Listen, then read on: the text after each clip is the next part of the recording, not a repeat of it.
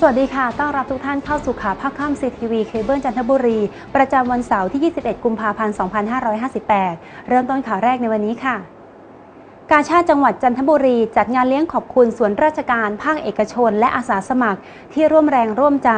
ทำงานเพื่อสังคม และงานสาธารณประโยชน์ตลอดปีที่ผ่านมา พร้อมยืนหยัดร่วมพัฒนาคุณภาพชีวิตชาวจันทร์ให้ดียิ่งขึ้นค่ะ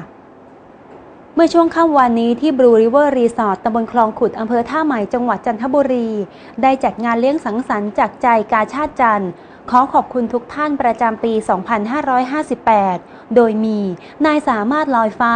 ผู้ว่าราชการจังหวัดจันทบุรี ร่วมเป็นเกียรติภายในงาน พร้อมได้ร่วมเดินทักทายส่วนราชการ ภาคเอกชน องค์กรร้านค้าต่างๆ และอาสาสมัครจากทั้ง 10 อำเภอ ที่เป็นผู้สนับสนุนงานกาชาติจังหวัดจันทบุรี เพื่อเป็นการเลี้ยงขอบคุณแก่ภาคส่วนต่างๆ ในการเข้าร่วมทำกิจกรรมสาธารณประโยชน์ และงานพัฒนาสังคมตลอดปีที่ผ่านมาอาทิ งานออกหน่วยรับบริจาคโลหิต งานช่วยเหลือคนพิการ และงานพัฒนาคุณภาพชีวิตเด็กและเยาวชน ตลอดจนการพัฒนาคุณภาพชีวิตชาวจันทบุรีให้ดียิ่งขึ้น และถือเป็นการสารความสัมพันธ์ระหว่างหน่วยงานที่เกี่ยวข้อง ในการเป็นพลังสำคัญ ร่วมพัฒนาจังหวัดจันทบุรี